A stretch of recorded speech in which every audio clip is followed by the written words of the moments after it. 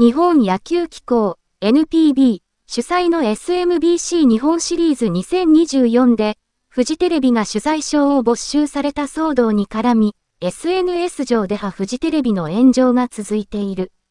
セリーグ3位の DNA とパリーグ優勝のソフトバンクが激突する日本シリーズは、31日の第5戦で DNA が3勝2敗とし、下克上に王手をかけた。大谷翔平を擁するドジャースとヤンキースが戦ったメジャーリーグのワールドシリーズとは、時間帯は違うが日程が重なっていた。取材証没収の真相について双方から公式な発表はないが、フジテレビが第3戦以外の日に日本シリーズ中継の裏でワールドシリーズのダイジェストを放送したことが問題になったと見られている。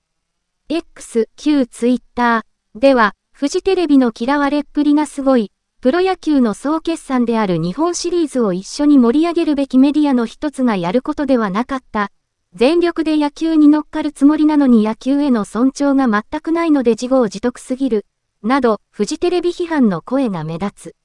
フジテレビは5月、大谷の荒い購入をめぐり必要な報道をしたことでトラブルになり、後に謝罪した。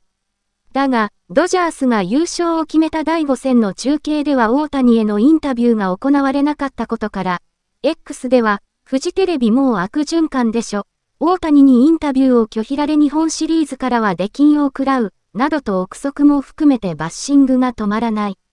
さらに、ここ数日は新人の上垣幸太郎アナの容姿を先輩アナウンサーがいじった3ヶ月前の映像が掘り返されたことが重なり、SNS 上で火だるまになっている。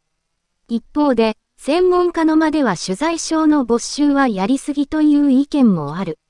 昨年に旧ジャニーズ事務所が開いた記者会見で、NG リストに入っていたジャーナリスト松谷総一郎さんは1日、X で、この姿勢はまさに旧ジャニーズ事務所が見せていた強圧的な態度と大差ないものではないか、と NPB の姿勢を問題し、